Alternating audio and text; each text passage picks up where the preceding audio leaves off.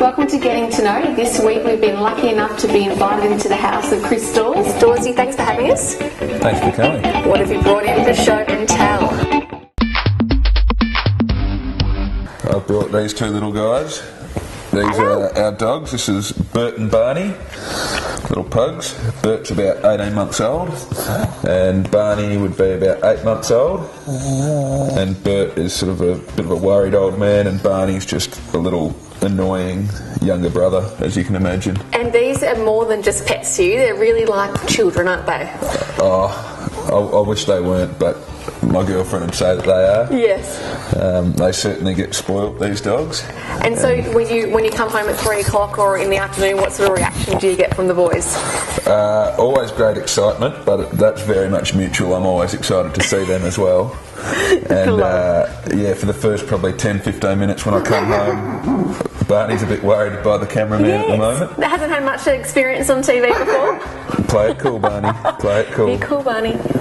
Uh, yeah, when I first come home, they get pretty excited and they run around. Bert especially always likes to grab a toy and parade that around for a while. And then as soon as I sit on the couch, they're usually pretty happy to just jump on my lap and sleep next to me. Nice to have so much love when you get home into the house. Now I know that you are quite, uh, you're a modest father, but the dogs are not just dogs. They can do amazing things. I have found out that they can dress themselves like you, Oh god. dress themselves, and not only can they dress themselves, they can also write letters. Can you confirm this? I'm I'm really upset with my fiance at the moment. She's hung me out to dry here. What do you think, boys? Want to remember that? And so, not only um, do you dress the dogs like yourself, you often rotate the outfits around, mix it up a bit. I'm gonna have words with Paige later. on. Are you, are you, dress, are you the one that dresses the dogs, or is that more Um, Paige? Yeah, that's very much Paige. I've, uh, I'm, I'm dead against it. Uh, yet it always seems to be me posing in photos with them. So. You think you get them in a Melbourne Guernsey? we actually had one somewhere, I think. Really? Yeah, doubled up as an old Brighton Guernsey from uh, previous days, but there's one floating about somewhere. We might have to give it a go, I think. Yeah. Well, thanks for coming in, boys. You've been very well behaved. Good work, boys. Well, Bert has anyway. Dawes, we have our social media questions for you. First up, Lauren would like to know do you have any talents? Uh, Oh, sorry, I should extrapolate. Hidden talents. We know you are talented. I, I was going to say that's probably fair enough because I'm not that talented at football at the moment. Uh, hidden talent? No, I'm uh, no, decidedly unimpressive at most things. Not karaoke, any party tricks. No, anything involving speech, I'm hindered by a big lisp. Uh, anything involving coordination, I, I struggle as well. Don't have great balance, so yeah, I'm pretty limited. Well, thanks for sharing. and Kate would like to know this will make you feel better about yourself. Do you want to go on a date?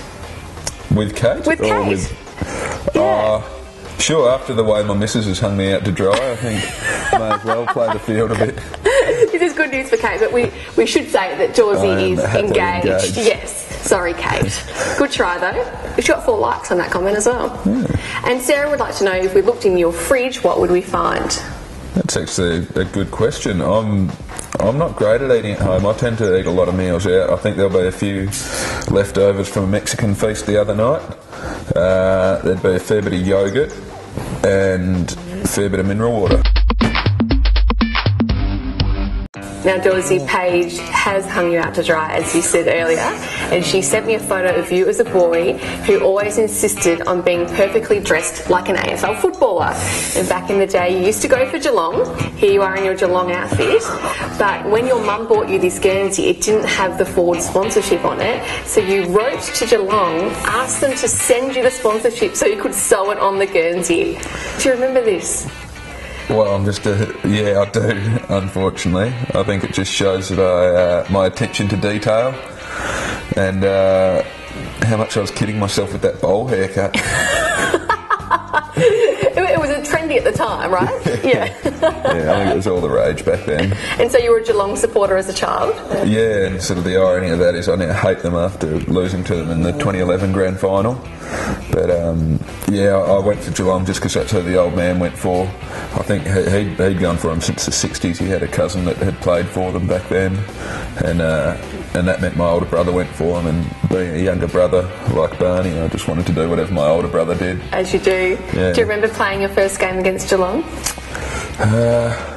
Yeah, yeah, I do. We, we got rolled. It was in 2010, and uh, yeah, they beat us. But by that stage, the the affection was well, well and truly cut off by then. I, I Yeah. hated them before I'd even played weren't so star- them. Yeah. then. well, we like seeing you in the red and blue now instead of the blue and white. We think it suits you a lot better. Yeah, much better.